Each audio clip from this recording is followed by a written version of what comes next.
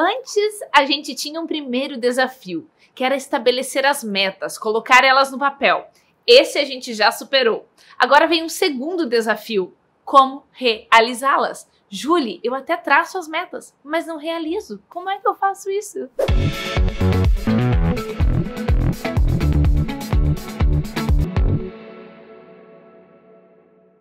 Nas enquetes que eu fiz na primeira semana desse ano lá no meu Instagram, inclusive se você ainda não está no Instagram, já convido você a seguir esse perfil também. Afinal, você precisa estar em todas as minhas mídias porque em cada uma entra conteúdo diferente. Então sugiro que você esteja em todas elas. Lá na primeira semana de janeiro, eu fiz uma enquete perguntando: e aí, você consegue traçar as suas metas para o ano que está chegando?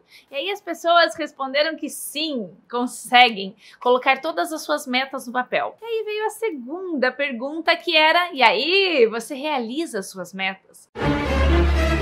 E aí as pessoas responderam que não. 87% das pessoas que responderam a enquete falaram que elas conseguem colocar até no papel as suas metas, consegue traçar elas, mas não consegue realizar essas metas. E por que que isso acontece? Esse é o tema do quadro Julie Coach de hoje. Já pega papel e caneta e anota aí porque tem dicas que você precisa anotar. Então vamos lá, mãos à obra. Colocar as suas metas no papel, escrever uma a uma, é algo muito importante, muito forte, porque você cria um compromisso entre você e as suas metas. Agora, tão importante quanto colocá-las no papel é você estar constantemente revisando e olhando para elas novamente. Não adianta você traçar elas lá no último dia de dezembro ou lá no primeiro dia do ano e nunca mais olhar para essas metas. Você precisa colocar no papel e revisar constantemente. E principalmente, qual é o passo a passo a seguir?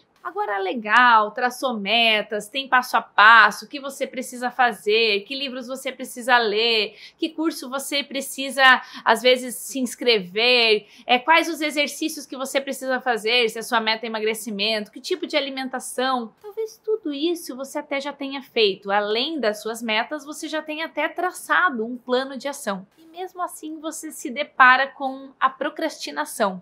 Você não consegue fazer constantemente o que precisa ser feito. Você quer ganhar mais dinheiro, então você precisa vender mais, você precisa se dedicar mais, e quando você vê, você está com preguiça.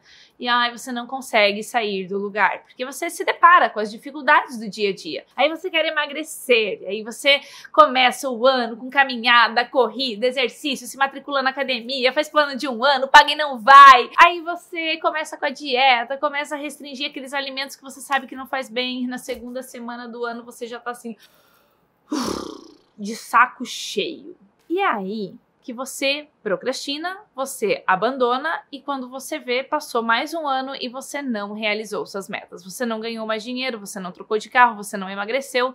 Você pensa, puxa, por que, que isso acontece comigo? O que é que há de errado? E uma das dicas mais importantes desse vídeo é que se você não sabe por que, que essa meta é importante para você, por que, que esses objetivos que você colocou no papel são tão importantes, você vai desistir, você vai procrastinar. Porque essas metas, elas têm que ter um porquê muito forte na sua vida. Elas têm que ter uma motivação forte. Só que essa motivação não é apenas a motivação de você fazer, de você ir para a ação, mas o que é que isso vai impactar na sua vida e no seu meio. Se você deseja ganhar mais dinheiro, por que é que você deseja ganhar mais dinheiro? Parte desse dinheiro vai contribuir com a sua vida e com a de outras pessoas ou apenas é para mostrar para os outros que você tem mais? Se você deseja muito emagrecer, quais são os outros benefícios que vão vir através do emagrecimento? Saúde, bem-estar, qualidade do sono, qualidade de vida. Como é que você vai se sentir mais magra?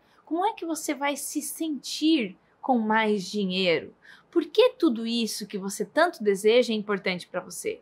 Por que, que você quer viajar mais? Como é que você vai estar se sentindo quando esses objetivos forem atingidos? Porque muitas vezes, se você não tem um porquê forte, se ele é um porquê muito superficial e está muito relacionado apenas a status ou apenas ao que os outros pensam e não ao que isso impacta, muda na sua vida e na vida das pessoas que te rodeiam, talvez não seja tão motivador e talvez não seja tão importante para você e para o meio que você vive. Quando as metas impactarem o seu meio, quando isso tiver um propósito aliado junto com isso que está no papel, com certeza você vai sentir-se muito mais motivada para consistentemente ter ações positivas que te levem à realização dessa meta. Então, se você traça elas e você não realiza elas, talvez o que está por trás dela não seja tão importante quanto deveria ser. Mais importante do que está escrito no papel é o que isso causa na sua vida e no meio que você vive. Ah, e agora? Pega seu papel, olha para suas metas e coloca do lado de cada uma delas a importância. Quais são os outros benefícios que vêm junto com ela, que com certeza você vai encontrar força e determinação para agir consistentemente de acordo com essa meta que está ali e você vai ter muito mais ânimo para realizar sabendo por quê que ela é tão importante. Se você gostou desse vídeo, curte ele, dá um like aqui, ajuda esse canal a crescer e principalmente compartilha com outras pessoas. Chama pessoas para virem para esse canal e também conseguirem realizar aquilo que é importante para elas e para o meio que elas vivem. Com certeza teremos um mundo muito melhor. Não me apresentei, eu sou a Julie, especialista em resultados pessoais, fundadora dos programas da Meta Clara. Utilizo o movimento como base de transformação da vida das pessoas. Afinal, quem movimenta o corpo, movimenta a vida, gera energia, entusiasmo, amor e determinação para viver cada dia com muita felicidade e também intensidade. Vem comigo e me acompanhe em todos os canais. Escreve aqui embaixo o que você achou desse vídeo, que é muito importante para mim. Beijo grande, até o próximo vídeo. Tchau, tchau!